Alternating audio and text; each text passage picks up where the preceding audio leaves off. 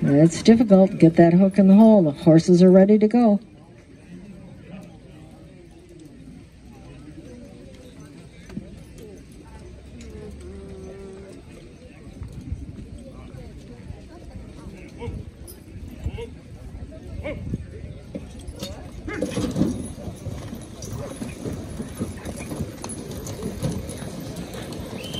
All right, full pull for Scott Fisk.